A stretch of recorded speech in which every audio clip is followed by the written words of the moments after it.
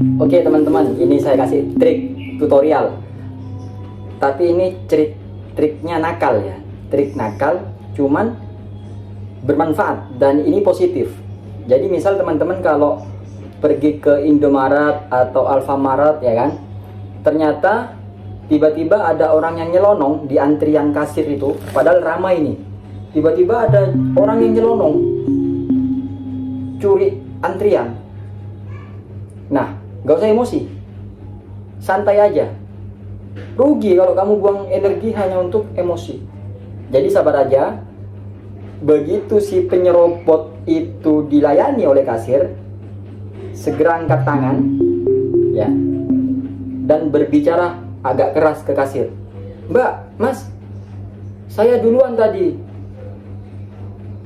Gak usah melihat ke si penyerobot. Bilang aja ke kasir, Mbak, tadi saya duluan loh dia nyerobot aku.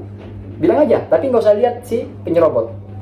Otomatis si kasir ini mengabaikan si penyerobot dan melayani kita. Ini trik trik licik tapi positif. Kita nggak salah. Orang nyerobot. Hmm awas kamu ya. Oke kita diam. Tapi ketika kamu sudah dilayani langsung mbak mbak mohon maaf mbak.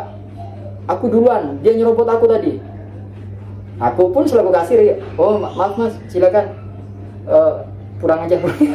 Bahaya kamu ini kamu mengambil hak orang lain kamu ini kamu ini ya mundur mundur nah, ini semoga bermanfaat. Dan berbicara Indomaret Alfamaret ketika keluar pasti ada tukang parkir kan? Is abaikan aja. Abaikan aja gak usah bayar. Kalau dia ngotot tunjuk itu. Biasanya di tembok parkir itu kan ada tulis parkir gratis untuk pelanggan Indomaret ya kan? Mas itu mas. Wes dia nggak bisa berkutik.